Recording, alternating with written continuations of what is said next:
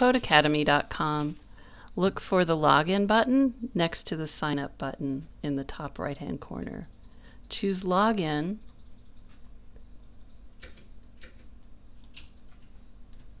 paste the username that I sent you in your email. And the password is 123 Albertus. Click Login, and you'll see the course that we are um, using this semester.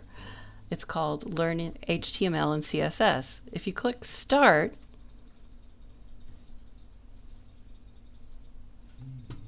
you'll see this window here where there is information to read on the left hand side. There's a window for coding in the middle that's a gray coding window with HTML markup language. You can see that. And then on the right hand side, um, this is how the HTML is going to display in the browser. So you see over here on the right hand side what the web page will actually look like. Uh, in order to complete these lessons, you'll want to read through all of the instructions, which are over on the left side. And then you'll want to do the activity that they want you to practice in the gray window. And that will include hitting the run button to update any changes that you make to the web page.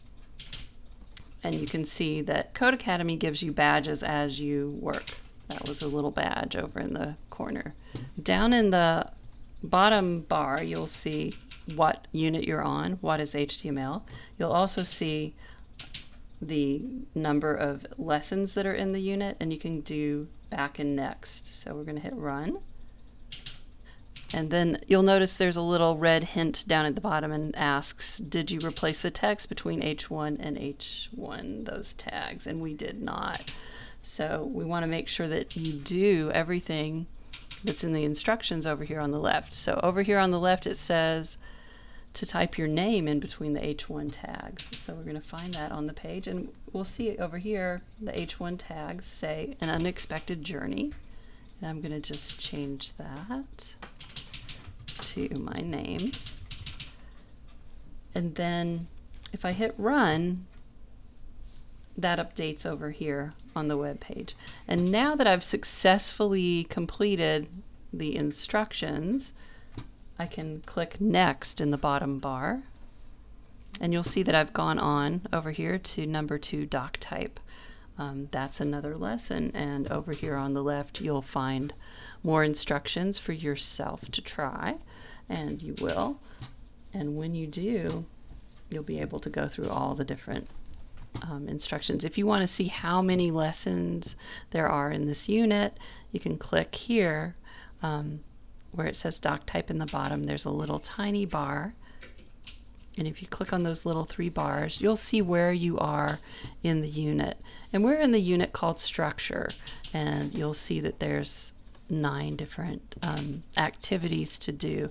They are locked until you do the previous activity. So they build upon each other and you'll be able to go forward. So be sure when you're working that you do the number of lessons that you want to do. So not just um, the lesson called structure, but inside the lesson structure, you want to do the number of exercises that are listed there. And I'll try to make that as clear as possible when I'm setting up the assignments for each week.